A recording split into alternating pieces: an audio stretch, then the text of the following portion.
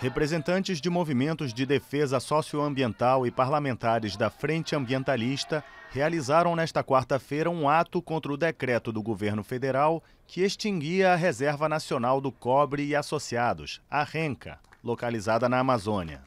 Eles receberam várias ONGs e apresentaram 700 mil assinaturas contra a decisão de liberar a área de mais de 4 milhões de hectares para a exploração de mineradoras privadas. A Justiça Federal suspendeu a decisão nesta quarta, mas a pressão sobre o governo continua.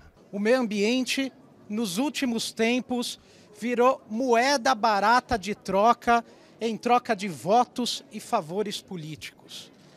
O que a gente está denunciando hoje aqui começa por esse decreto que abre áreas intactas da Amazônia para o desmatamento, para exploração florestal, para a ilegalidade de exploração mineral.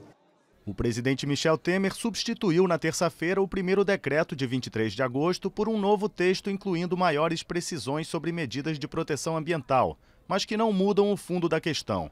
Parlamentares da oposição não se mostraram satisfeitos.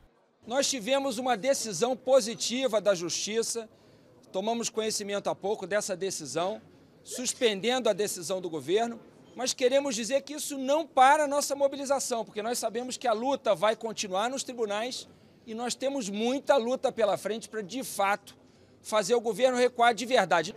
É fundamental trazer luz à realidade do Brasil. Nós estamos com o Brasil sendo desmontados, desmontado literalmente é, e agora com entrega das suas reservas. O governo busca ampliar o setor de mineração como parte de seu plano para tirar o país da recessão.